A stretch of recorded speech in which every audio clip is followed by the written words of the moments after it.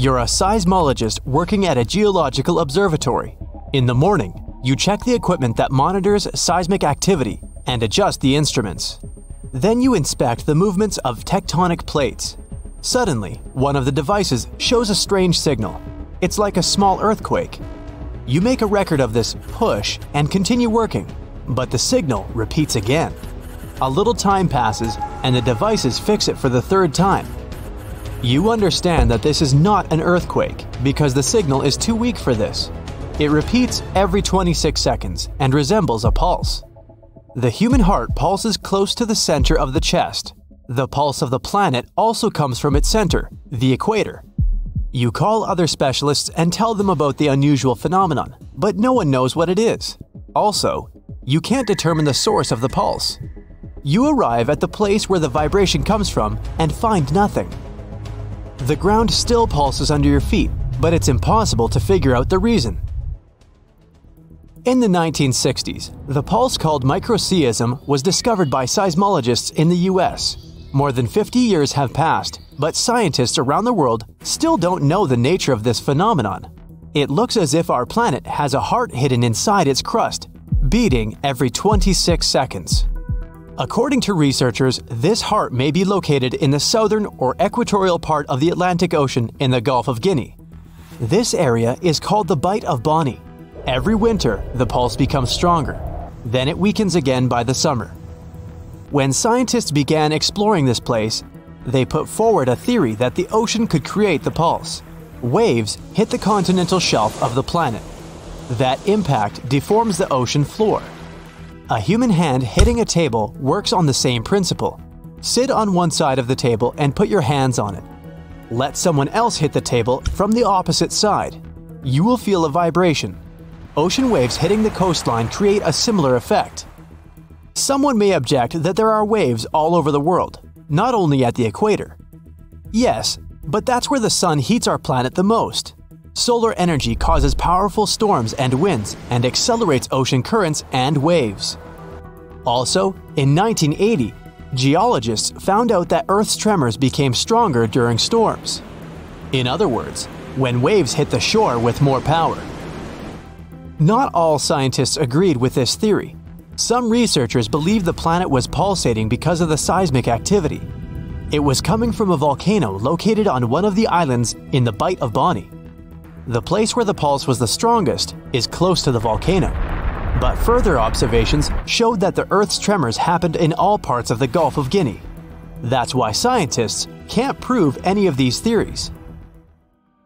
Our planet pulsates not only from within, Earth is surrounded by a thin luminous halo. It's constantly changing its shape and shimmering with different colors. If you look at our planet using special equipment, you'll see that Earth is inside an uneven pulsating bubble. It's located at an altitude of 50 to 400 miles above Earth's surface. This bubble is called the ionosphere. That's a layer of charged particles that separates the upper atmosphere from space. In other words, this is the boundary that sets apart the region where you can still breathe and a complete vacuum of space. The International Space Station travels inside the ionosphere, most of our satellites also move within the borders of the pulsating bubble. This natural phenomenon can both help and disrupt the operations of communication and navigation systems. It helps radio and GPS signals to get to our mobile phones, but it can also interrupt the stable connection. It all depends on the number and density of charged particles. Sunlight takes away one or two electrons from the gases surrounding our planet, and they become charged particles. These particles make up the ionosphere. It's constantly changing its shape and size. It happens because the planet rotates around its axis, and the sunlight falls on it unevenly. During the day, the ionosphere is always larger than at night. Because of this pattern, it's pulsating and constantly moving. This instability shortens the life of orbiting satellites and often puts them out of work. Radio and GPS signals pass through the ionosphere and get reflected from charged particles. Then, they fly further to their destination, to phones, navigators, and other devices with GPS and radio receivers. Our planet is not only pulsating, but also buzzing. The noise that Earth produces is called the hum. It's impossible to record this sound, but even so, 2 to 4% of people on the planet hear it. All over the world, people who aren't connected in any way speak about a weird buzzing sound. It interrupts their sleep and doesn't let them concentrate. This noise follows them everywhere. Perhaps you also hear it but don't pay attention. But once you notice the hum, you won't be able to unhear it. Some residents of a small village in Scotland describe this humming as a thick, low frequency sound. There's a website on the internet with a map where people all over the world register and describe this mysterious noise. Almost everywhere, it's a low frequency vibration, barely perceptible to the human ear. Sometimes, people say it resembles the noise of an airplane flying overhead, but quieter. Some people describe it as the sound of a running truck engine placed in the backyard. It's humming in the street when they come home. And it gets louder when they are lying in bed. If you hear it too, you can mark it on the map.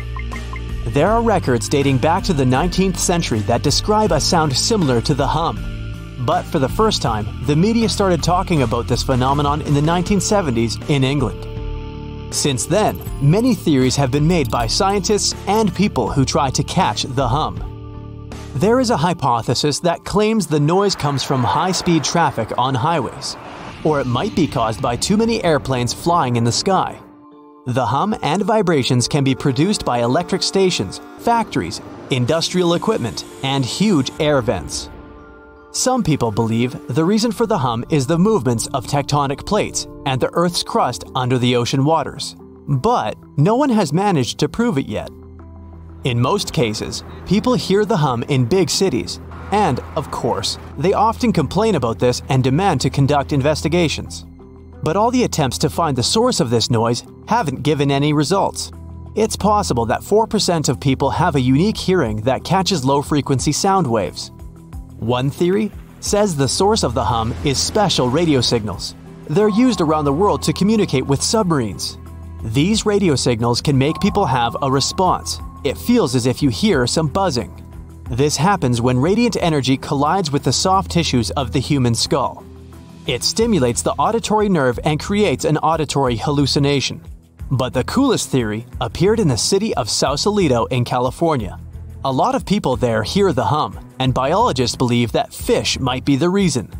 There are many toadfish on the west coast.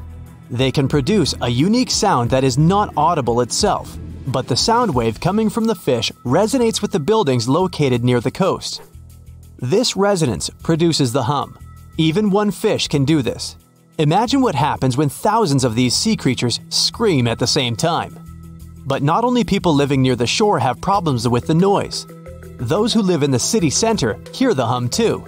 And since the sound waves created by the fish can't spread so far, the theory was quickly refuted. Our planet isn't the only humming one. In 2020, scientists recorded a strange buzzing sound on Mars. This is a quiet, long beeping that spreads across the red planet's surface. Sometimes it changes a bit because of Mars quakes, which are another mystery.